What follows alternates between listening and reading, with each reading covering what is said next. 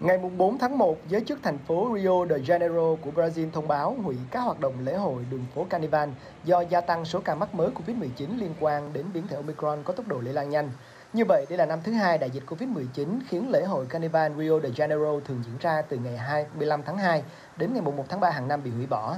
Theo thống kê của hãng du lịch Rio Tour, ước tính có khoảng 7 triệu người tham dự các lễ hội đường phố trong năm 2020.